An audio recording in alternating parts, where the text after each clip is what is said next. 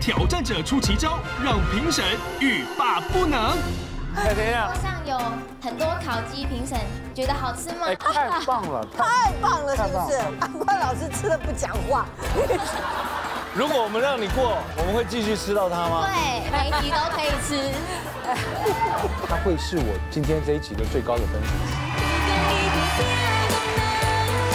最美味的歌声，烤鸡小千金即将登场。